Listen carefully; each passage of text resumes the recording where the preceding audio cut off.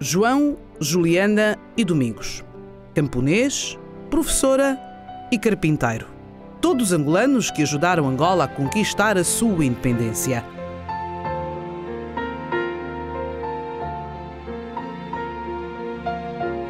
Hoje reformados, moram aqui no lar de idosos de Saurimo.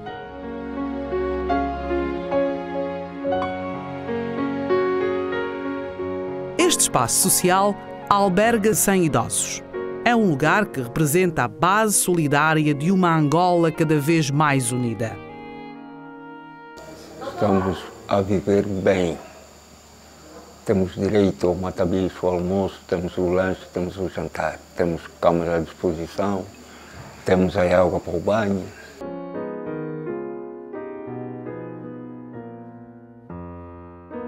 A instituição agrega cinema, sala de jogos, ginásio e campo desportivo.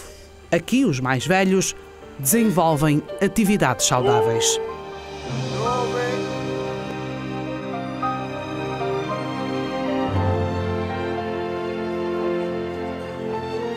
Aqui a saúde está presente, com enfermarias masculina e feminina disponíveis para atender cada uma 24 pacientes por dia.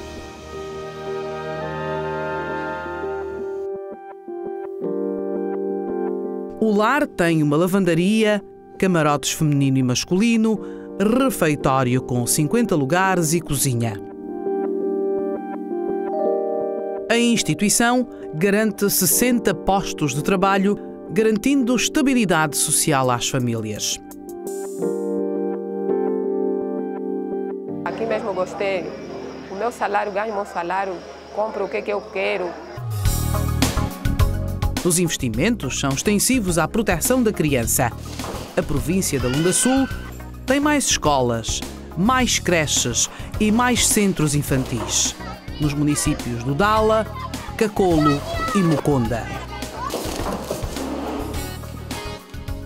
Cada instituição infantil acolhe 100 crianças. As creches estão apetrechadas com material didático e equipamento para recriação. 2, 3, 4, 5, 6, 7, 8, 9, 10. Todos estes investimentos estão a gerar empregos. É assim que Angola avança e consolida cada vez mais a sua democracia e a sua economia.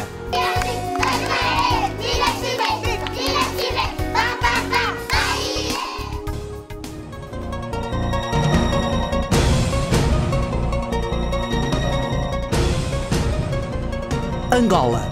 Estabilidade, crescimento e emprego.